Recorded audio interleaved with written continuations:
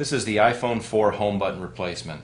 Chances are you're going to do a full color conversion, switching from a black to a white or purple or pink and so forth, and you're going to need to re replace this uh, little cosmetic home button piece.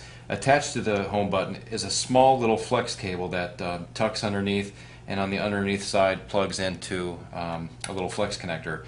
But we don't want to undo that flex connector. It proves to be pretty difficult to uh, get it reattached. And so we're going to be real careful here and um, we're going to separate this home button um, uh, from the little flex cable.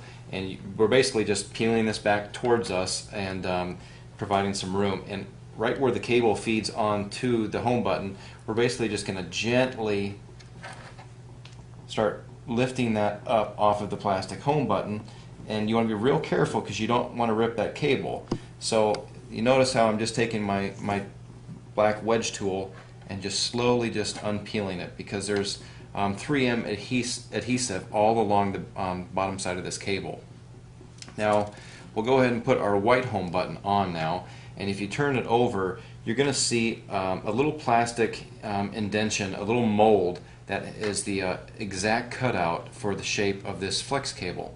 So we want to just kind of lay the home button straight on to uh, the middle housing and then we're going to take the flex cable and gently just uh, peel it push down right on top of the imprint that is in the home button so it's on accurately and uh, after that we're just going to fold it back over um, into placement and make sure that the home button is the square is straight. Um, you don't want the home button to be cockeyed because uh, then it's going to look real funny when you put the LCD on. Um, test test the button, make sure it has a normal clicking feel to it, and that's really it. So uh, just to recap, um, you do have to take the LCD screen off. You do have to take the circuit board off to, to change out the home button.